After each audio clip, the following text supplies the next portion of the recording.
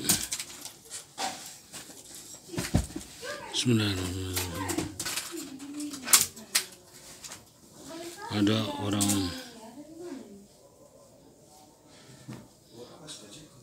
ada orang yang mendirikan masjid bukan karena Allah, melainkan karena hendak memecah mengadakan partai antara kaum muslimin.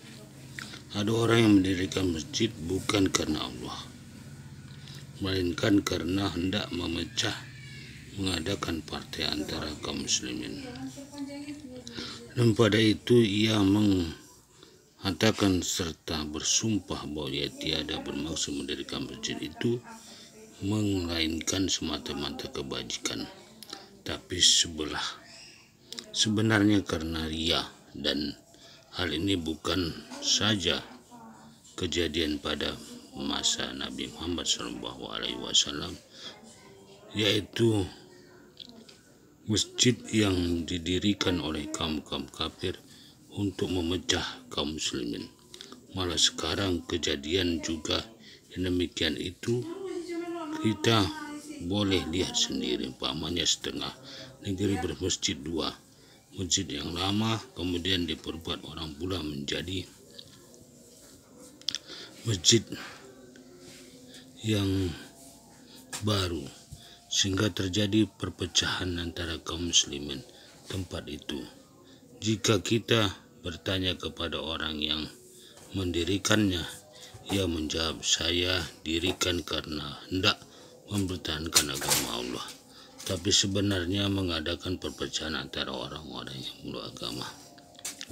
Kalau diselidiki lebih halus adalah sebabnya mendirikan masjid itu karena perselisihan paham tentang perkara yang sunnah-sunnah.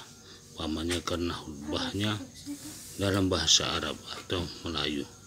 Atau imamnya mengeraskan membaca bismillah atau karena bang dua kali dan sebagainya atau azan dua kali maka karena pertikaian paham tentang perkara yang sunnah-sunnah itu mereka perbuat perkara yang telah terang haramnya dalam agama yaitu berpecah-pecah atau berpartai-partai antara kaum muslimin satu sama lain.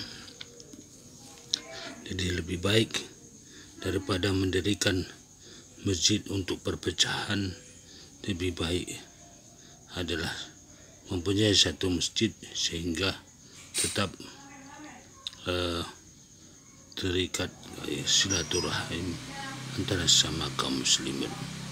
Tapi ada saja orang yang bermaksud membangun masjid untuk memecah umat Islam.